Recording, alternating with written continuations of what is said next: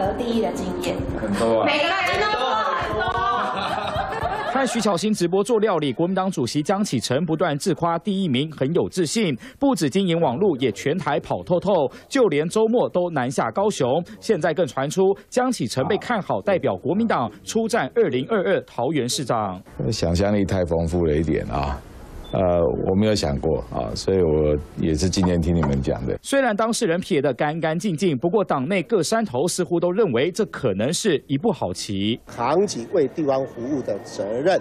我觉得都是一个好事。如果国民党整体的支持度能够更高，不止桃园，我们很多地方都能够胜选。如果明天碰到江主席，我再来问问他。过去桃园市的选民结构一直被视为蓝大于绿，然而郑文灿上任后，施政满意度都高于百分之七十，蓝绿版图似乎也跟着松动。二零二二这场仗，蓝绿都来势汹汹。光是民进党内被点名有可能接班的以及表态的，就有立委郑运鹏、前公平会副主委彭少景和桃园市政顾问黄世。卓国民党内除了江启臣外，韩国瑜、吴志阳呼声也都相当高。他们会认为说桃园还蓝大于绿的那个说法，我认为只是自己壮胆而已。我桃园已经改变了。谢谢国民党江启臣主席哦。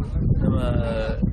看中桃园，我是现任的市长，我基本上我都欢迎。虽然国民党主席可能亲自出征，民进党严阵以待，然而郑文灿施政获得好评。二零二二桃园市长之战，蓝营想要收复失土，恐怕没那么容易。三立新闻黄大鹏、周凯综合报道。